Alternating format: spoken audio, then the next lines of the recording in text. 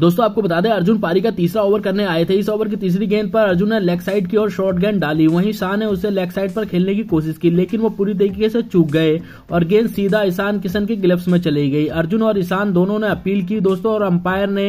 शाह को आउट दे दिया रिव्यू आपको बता दें रिव्यू को लेकर शाह और गिल में लंबी बातचीत हुई और निर्धारित डीआरएस टाइमर खत्म हो गया फिर भी दोस्तों शाह ने अंपायर को रिव्यू के लिए टी साइन दिखाया और दोस्तों अंपायर ने उनको अप्रूवल भी दे दिया जिसके बाद दोस्तों थर्ड अंपायर ने शाह को आउट दे दिया रिव्यू देखने के बाद पर दोस्तों अंपायर ने